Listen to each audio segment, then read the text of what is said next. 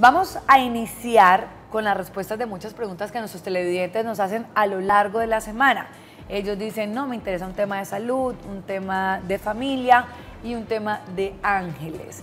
Normalmente uno siempre dice, ¿será que nos están protegiendo? ¿Será que tengo la presencia de alguien que me acompaña en cada situación, en cada experimento? ¿Te ha pasado? Todo, yo creería que todo el tiempo. A veces uno siente, por lo menos cuando hablábamos en, programas anteriores, Lau, que tú dices, los olores para mí son una cosa loca y eh, cuando percibo olores agradables, pues siento que hay una buena energía.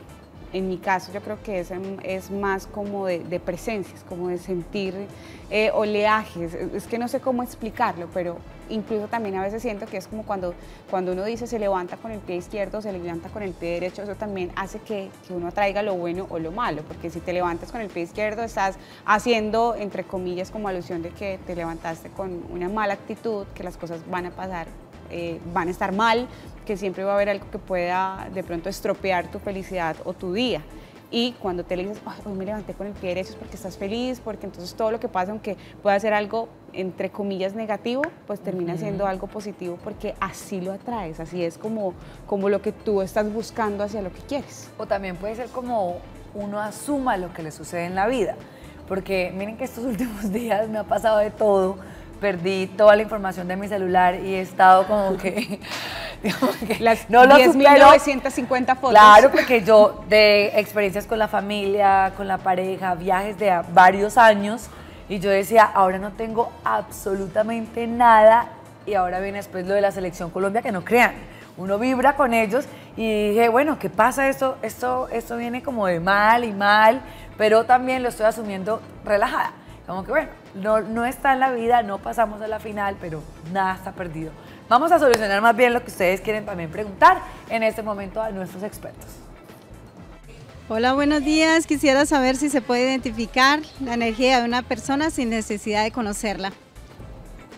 Uy, yo creo Ahí está. Yo también creo que sí. Uno, yo siento que uno de entrada sabe si esa persona cae bien o cae mal. Y cuando una persona cae mal es porque realmente la energía es negativa.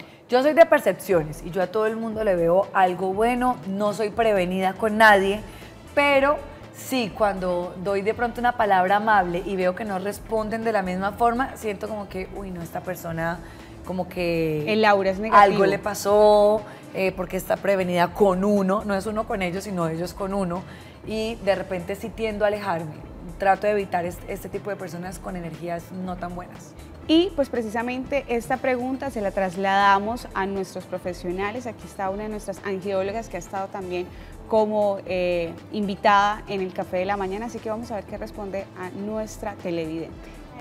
Tú tienes por naturaleza un radar en tu cuerpo y puedes sentir por la sensación y la percepción que recibes de cada persona si ella es densa o si es suave. Si sientes densa es porque vibra en una frecuencia bajita que es negativa. Si tú sientes armonía con ella y sensación de acercarte es porque es positiva. Es una persona que entra eh, suavemente a tu campo electromagnético. ¿Ves? Y yo creo que uno comienza a identificarse con esas personas y a atraerlas también a la vida de uno, porque uno va retirando a las que no están aportándome o de repente traen un mensaje también para reflexionar. Yo siento que todo depende de cómo uno vea las cosas completamente de acuerdo en eso porque todo también depende de ti. Y yo digo, ahí sale a relucir esa frase que siempre como tengo presente y es que cuando no te tomas nada mal, no solamente eres intocable, sino que te vuelves superior. Entonces cuando hay personas que llegan con una energía negativa y quieren hacerte daño, pues eres tú quien decide si esa energía negativa me hace daño, eres tú quien decide si le hago o no le hago caso a lo que dicen los demás y pues al no hacerle caso, pues simplemente estoy haciendo como un bloqueo y repelo todas esas cosas negativas y digo, bueno, ahí me vuelvo superior y me vuelvo intocable. Ahora, hay otro punto y es que qué tal que el de la energía negativa sea uno. Hágame el favor. Reflexione también, porque es que a todos nos pasan cosas negativas, uno también está de mal genio, uno también está triste y de repente no eres energía positiva para el otro. Así que yo creería que que Heidi nos también nos diría, limpie esa energía, renuévelas, dése un respiro. Yo sí lo hago. Cuando yo me siento cargada, como que digo, no, necesito una tarde libre, un tiempo para mí, porque puede ser que uno sea la energía negativa para alguien. Pero vamos a pasar a una de las preguntas de nuestros televidentes y ya les cuento también qué hago yo para de pronto tratar de alejarme de, tanto negativismo en mi vida. Veamos entonces qué opinan nuestros televidentes. Hola, buenos días. ¿Cómo hago para mantener mi energía positiva? Perfecto, cuéntanos entonces precisamente qué haces. Sabes, pues Muchas personas van a spa, se hacen un masajito, de pronto van a lugares donde haya completa tranquilidad. Yo me aíslo, yo me aíslo un poco, yo tomo un libro, pues obviamente trato de que ese libro sea un libro que, me traiga algo a mi vida personal, que no sea una historia porque sí, sino que sea algo que realmente pues, pueda traerme y eh, me conecto también con Dios. Creo que cuando hablo con Dios de una manera así, como hablo con ustedes, tranquila, como que bueno, Dios, mira, ¿sabes qué? Me pasa esto, eso, sin de pronto ir a una oración ya, eh, ya estructurada, sino hablarle como yo sé que puedo hablarle, pues eh, de esa manera como que despejo mi, mi, no sé, como lo que hay en mi interior, como que me abro completamente y eso me ayuda también a tranquilizar. Coincido en la parte espiritual, porque sin duda alguna cuando uno está afrontando momentos difíciles, siempre está esa palabra clave que le da a uno ese soporte o ese empuje a que no se caiga. Yo la sostengo con mi mano derecha, con mi mano izquierda. Entonces yo pienso que Dios si viene siendo como un eje principal en el, en el momento de querer regular las energías. Y dos, por ejemplo, a mí me pasa que me rodeo de los niños, niños y niñas. A mí ellos como que me cambian la percepción, eh, me transforma el pensamiento, como que me distraigo con cada cosa curiosa que ellos realizan y sin duda alguna me renuevan ellos a mí la energía.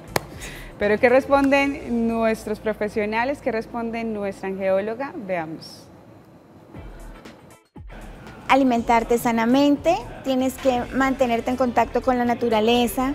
Si sientes que vives en un ambiente complicado, abraza un árbol, camina descalzo en el prado, toma mucha agua o mete los pies en una tacita con agua, con sal, descarga toda la energía para que ella pueda activarse y tú puedas cambiar todo el flujo electromagnético de tu cuerpo a positivo.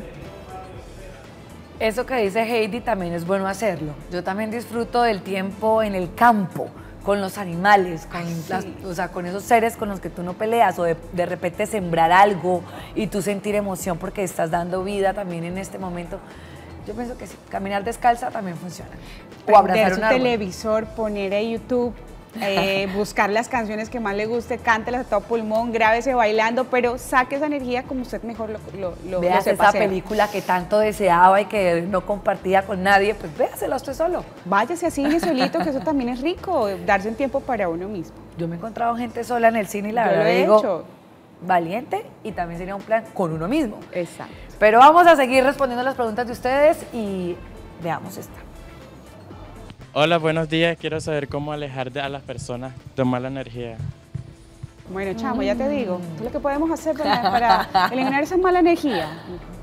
Cómo alejar, alejar precisamente a estas personas que tienen esa energía negativa, que de pronto todo el tiempo se están quejando, que es que esto me pasa a mí, es que me levanté preciso, se me partió el tacón del zapato. Mm. Y es que hoy solamente tenía para desayunar arepa, huevos, queso, jamón y de pronto un pedacito de pollo, pero no pude comer pescado. Entonces uno dice, ala, ¿por qué tanta negativismo? ¿Por qué no miramos la parte positiva? Pero ¿cómo hago? Les tengo la clave yo por lo menos no me alejo. No, yo no alejo a las personas, yo me alejo de las personas.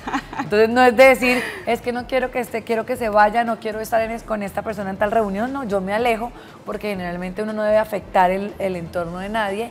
O otra cosa que puede hacer es si usted siente hablar con esa persona, ¿qué le pasa? Lo he visto decaído, te veo estresado, te veo de esta forma, te veo de la otra, y ayudar al otro también está bueno de vez en cuando. Total, pero ¿qué dicen nuestros especialistas en el tema? Véanlo ustedes.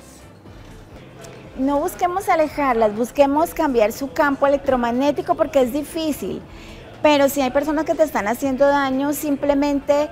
Eh, cerrando la posibilidad, evitando coincidir con ellas o colocando eh, imanes, imanes eh, de la misma polaridad en, si están sentados al lado de nuestro sitio de trabajo, imanes que se repelen sobre una basecita de madera para que esa, esa sincronización haga que esta persona nos vea invisibles, o sea, tampoco existamos para ella y no nos afecte de ninguna forma.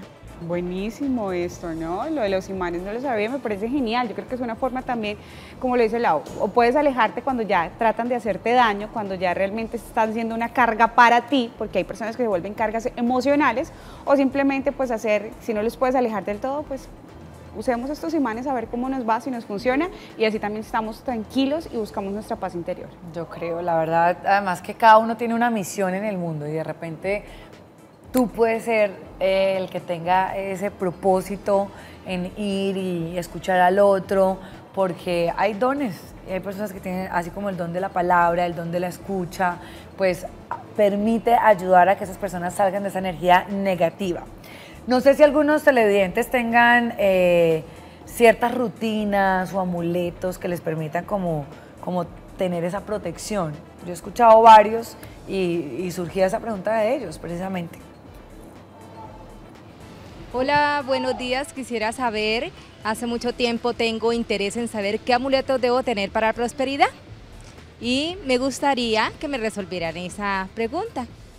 Yo los únicos que hago es, el 31 de diciembre. De acuerdo, iba a decir lo mismo. El 31 de diciembre que es que uno sabe que la maletica salga pues con toda la fe, dele un pico. Si no tiene pareja, dele un pico a, una persona del sexo opuesto. y te lo puedo decir, Funciona, funciona, se lo digo yo, que le di pico a un chico del sexo opuesto, no tenía no yo le digo, pero venga. ¿Y que hoy es mi novio? No, no se quedó él como mi novio, solamente fue el pico, solamente me lo presté, me lo autopresté para ese momento a las 12 de la noche y ya el siguiente año pues tuve novio. Ah, eso no me lo sabía, pero yo la que hacía era como el de las lentejas, que también trae prosperidad, el mismo de hacer, de hecho, no es tanto como amuleto, pero sí hacer una lista de las cosas que uno quiere para ir cumpliéndolas. Buenísimo. Escriba lo que las palabras las lleva el viento.